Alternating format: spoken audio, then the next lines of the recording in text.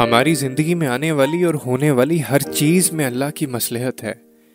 किसी का ज़िंदगी में आना या चले जाना, रातों को उठ उठ कर रोना या चैन की नींद सो जाना, एक लम्हे में हज़ारों यादों का बनना और अगले ही लम्हे में इन तमाम यादों का बिखर जाना, ये सब अल्लाह की रजा से है। क्योंकि वो जानता है कि मेरा ये बंदा मेरी जानब एक आवाज़ पे ज़रूर आएगा। और इस बंदे को मुझे अगर थोड़ी सख्ती से भी अपनी तरफ़ लाना होगा तो मैं लाऊँगा। तभी वो हमें ज़िंदगी की ऐसी हकीकतों से मिलवाता है कि हम टूट जाते हैं, फिर उसकी तरफ़ भागे चले जाते हैं।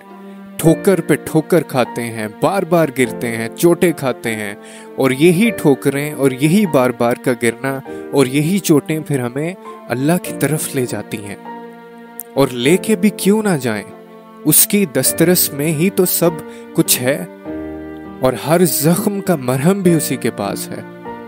और ईमान तवक्ल वो रास्ता है, जिसके ज़रिए आग ठंडी कर दी जाती है, जो दरिया में रास्ता बनवा देता है, जो यूसुफ को याकूब से मिलवा देता है, जो शदीद तूफानों में भी कश्ती पार लगा देता है, जो पानी पे घोड़े दौड़ा देता है।